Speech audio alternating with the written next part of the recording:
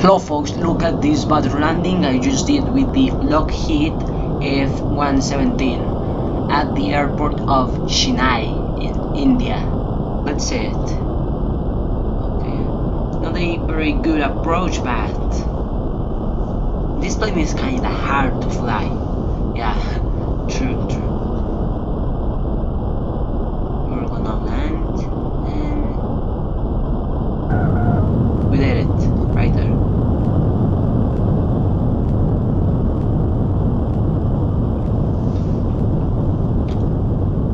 and we are right in the middle of the central line so that's great. Now thank you very much for watching. I hope you enjoyed the video.